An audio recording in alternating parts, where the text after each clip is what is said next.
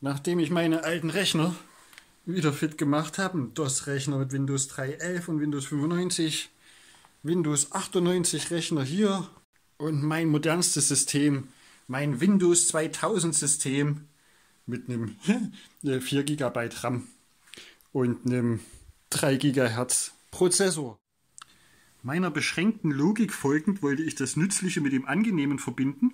Ich habe in einem der letzten Videos von Perry Roden gesprochen, das heißt von, von Walter Ernsting, dass ich da ein Battle mit Erich von Denigen lieferte. Und jetzt gibt es zum Beispiel hier äh, Abandonware, gibt es äh, eine der Seiten, äh, Archiv.org gibt es dann noch, wo man die ganzen alten Spiele von Windows 95, Windows 3.11 bis Windows 2000 und XP zurzeit noch kostenlos runterladen kann, weil die kein Schwein mehr kennt. Und da ähm, gibt es auch Spiele über Perry Roden. Und da habe ich gedacht, guckst du die mal an, vielleicht findest du dir ja irgendwelche versteckten Hinweise da auf unser Problem mit, mit der Sonne und der ISS und wie da die Laser gen Himmel geschickt werden. Aber dann hatte die künstliche Intelligenz doch Erbarmen mit mir und hat mir gleich auf YouTube das richtige Video vorgeschlagen.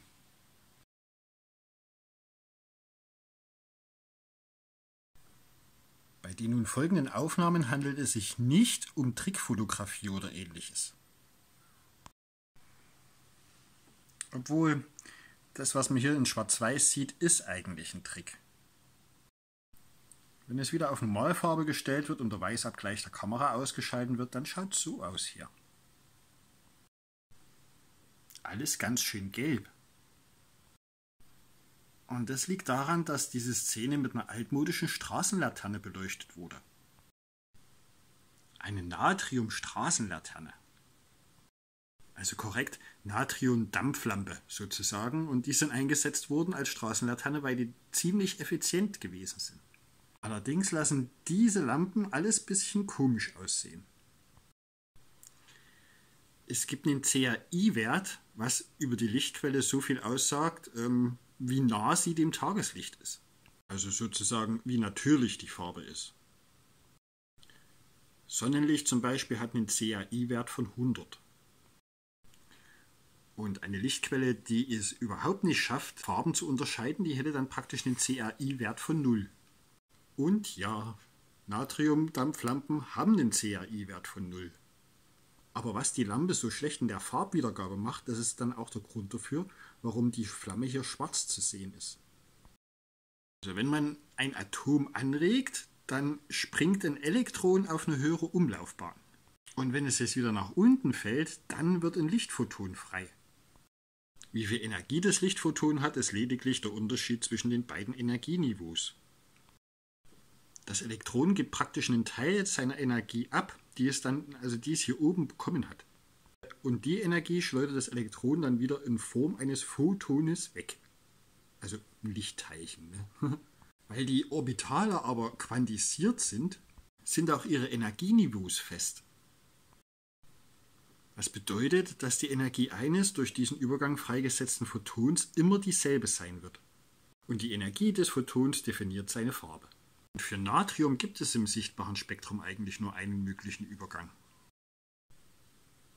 Und das wäre eben genau diese gelb-orange Farbe. Bei einer ganz bestimmten Farbe spricht man eigentlich von einer ganz bestimmten Wellenlänge, was in diesem Fall hier 590 Nanometer sind. Eigentlich ist es ziemlich untypisch, dass so ein Licht nur eine sichtbare Linie hat. Normales Tageslicht, das kann man schön aufspalten in die ganzen Regenbogenfarben. Auch beim Xenonlicht, was mit einer Tesla-Spule angeregt wird, haben wir eigentlich nicht das weiße Licht, was man da hauptsächlich sieht, sondern das ist auch zusammengesetzt aus vielen verschiedenen Farben. Aber dieses Natriumgas, das hat nur eine Linie. Naja gut, das stimmt nicht ganz. Eigentlich sind es zwei Emissionslinien, aber die liegen sehr nah beieinander. Also das Natriumatom emittiert also eine ganz bestimmte Photonenfarbe. Also jedenfalls, wenn ein Elektron von dem 3p auf das 3s-Orbital fällt.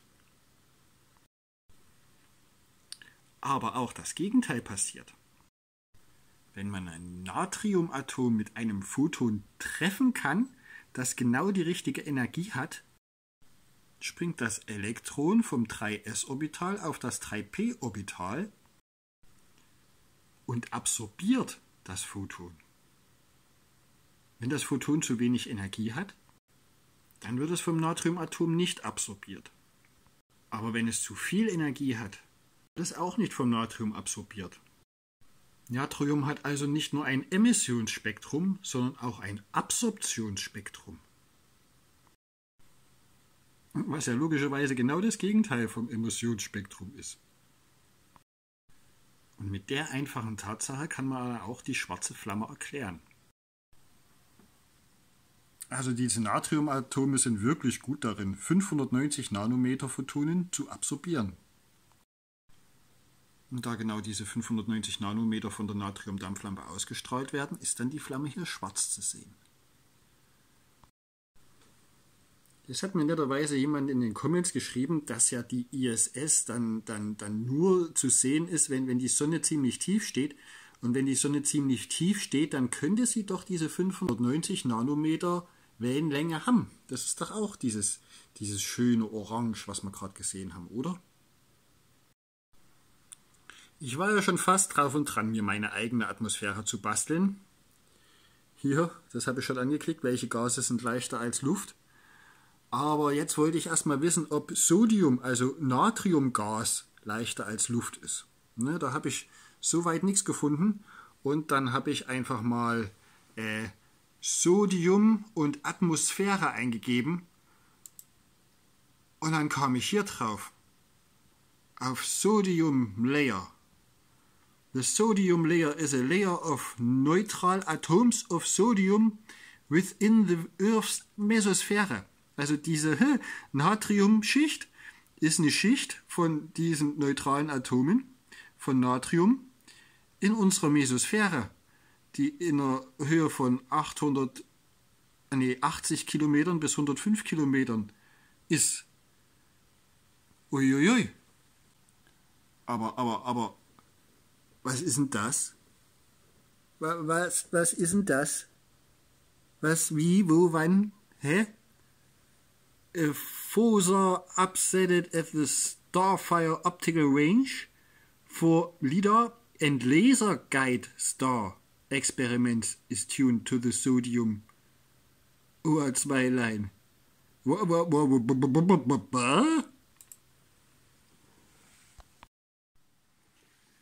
Laser Guide Star. A laser guide star is an artificial star image created for use in astronomical adaptive optic systems. Okay. Also so wie ich das jetzt ganz laienhaft kapiere, nachdem ich das mal so ganz kurz überflogen habe und das mit meinem äh, beschränkten hm, Verstand so ein bisschen aufgenommen habe, ähm, ja, werden da Laser an diese Natriumschicht äh, da oben geschickt, um praktisch die Sicht frei zu machen für unsere Teleskope, damit die weiter in den, ins Weltraum gucken können. Das ist die offizielle Erklärung dafür. Ist ja cool. Ich möchte mal so ein Ding live irgendwo sehen. Weiß jemand, wo so ein Ding rumsteht, was so ein Laser in den Himmel schießt? Okay, und wem das jetzt noch nicht reicht, YouTube hat mir echt geholfen. Das weiß wahrscheinlich, was ich suche. Das hat mir das vorgeschlagen hier. Also eine Erfindung, die dem Disney-Konzern Millionen eingebrachte, aber was sie verloren haben hm, in der, in der letzten Zeit. Ja, hier wird am Anfang gezeigt, wie heutzutage gearbeitet wird mit Greenscreen oder mit Bluescreen und welche Fehler dabei auftreten. Also zum Beispiel ist es beim Greenscreen halt echt blöd, wenn man ein grünes Kleid anhat oder, oder beim Bluescreen, da werden die Blautöne dann verfälscht. Aber irgendwie hat Disney das damals bei Mary Poppins so krass hinbekommen, dass selbst die Profis von heute sich gewundert haben, wie die das damals gemacht haben. Und das Geheimnis, könnt ihr es euch denken? Jawohl, ist die Natriumdampflampe. Die haben genau mit dem Prinzip, was vorhin erklärt wurde, äh, wie, wie das mit der, mit der Flamme funktioniert, hier schon die ersten krassen Kinofilme gemacht. Und irgendwie ist die Technik dann in Vergessenheit geraten und dann mussten sie mit Bluescreen rumexperimentieren. Und jetzt erst, so wie es aussieht, sind sie wieder dahinter gekommen, haben es wiedergefunden. Und das passt ja sowas von gut mit rein. Ne? Disney und NASA und der Weltraum. Zum Beispiel kann man so einen schönen Blur-Effekt, wie hier unten bei dem Fuß zu sehen ist, mit einem Bluescreen oder einem Greenscreen überhaupt nicht hinbekommen. Und spätestens jetzt habe ich dann auch keinen Zweifel mehr, dass meine ersten Teleskopaufnahmen, die ich vor 14 Jahren machte und ähm, mit denen das eigentlich hier so alles angefangen hat, wenn ich mich mal so richtig zurückerinnere, ja, das waren eines der ersten Dinge, die mich auf den Pfad gesetzt haben, die Beobachtungen durch mein Fernrohr, dann weiß ich jetzt, dass das höchstwahrscheinlich hm, einiges künstlich sein könnte, was ich da gesehen habe. Also, aber neues.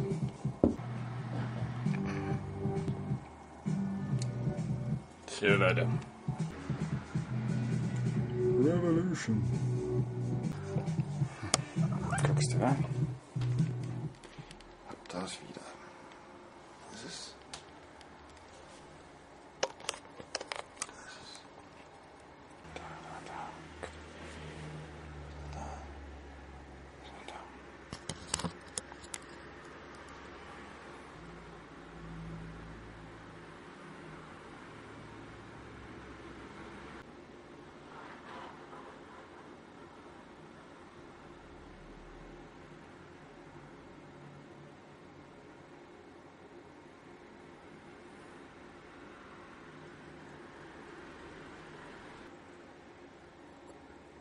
Nee, das sind wir weg.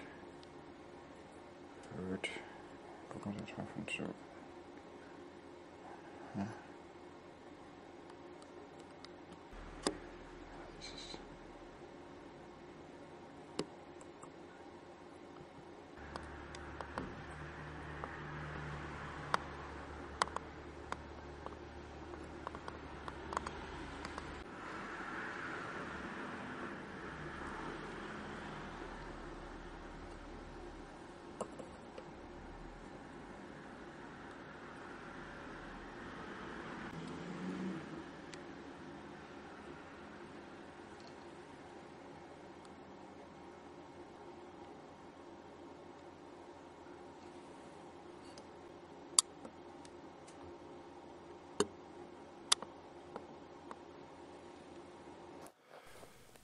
Und auch das, was andere Leute sehen, ist keinesfalls fake, ist einfach nur ein Himmel projiziert, so wie es aussieht.